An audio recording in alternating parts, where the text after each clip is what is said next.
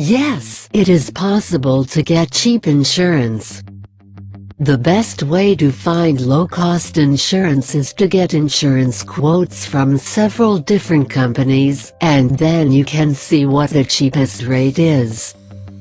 Here is a list of some things that contribute to the cost of your insurance. The first factor would be the area in which you reside. Insurers look at your neighboring area, if your area has many accidents it will affect and increase your premium rate. Most of the time, you will find more fender benders in inner city area. In rural areas you might find more severe accidents. The reason for this would be because of the higher speeds on the open highway.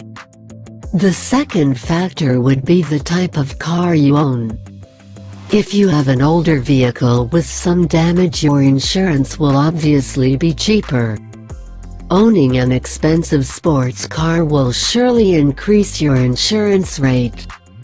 The third factor would be young driver discounts. Some companies offer discounts for good students with a 3.0 grade point average as well as driver's training discount. If you put the two together the discount can be quite significant. The fourth would have to be mature driver and retired discounts.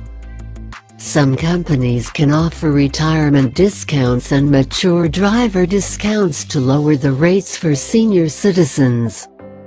These were just a few things that can contribute to your insurance rate. Be sure to ask about any discounts when shopping for your car insurance. Think about where you live, your vehicle and how you arrange your coverage. If you do a little more research and educate yourself it will help you get the insurance that is right for you, and an insurance that will save you more money. So go out inform yourself and save money on your car insurance.